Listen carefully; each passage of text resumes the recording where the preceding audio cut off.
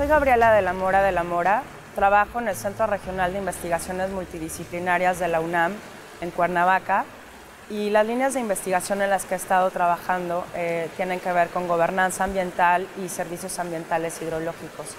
En particular, eh, he estado trabajando sobre los retos que enfrentan distintos actores sociales en la toma de decisiones respecto a,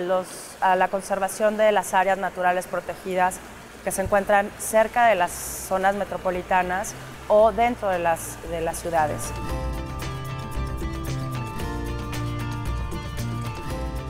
Sobre los beneficios que nos proporcionan las áreas naturales protegidas cercanas a las ciudades, así como los parques urbanos, podemos mencionar la producción de oxígeno que normalmente hacen falta en las ciudades, sobre todo por la contaminación atmosférica provocada entre múltiples factores, pero principalmente por el uso del automóvil, pero también la captación de agua. Por otro lado, son espacios y áreas verdes que de alguna manera nos proveen de tranquilidad y nos ayudan a tener un contacto con la naturaleza,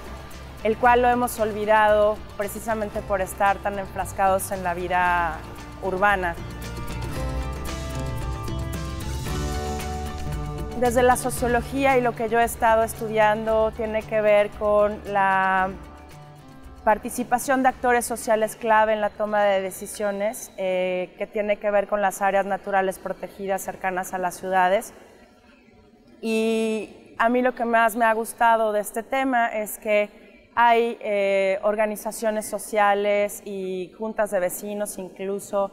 que se han organizado para tratar de mantener estas áreas eh, y evitar que la mancha urbana se las coma y siga creciendo.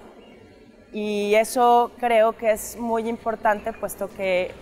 eh, tenemos que participar en este tipo de proyectos y estar conscientes de la relevancia de mantener estos espacios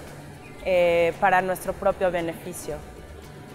Finalmente los invito a que acudan a las a los parques urbanos y conozcamos las áreas naturales protegidas, porque es importante estar en ellas y sentirnos parte de ellas, porque dependemos, nuestro bienestar también depende de estos espacios naturales de más grandes dimensiones.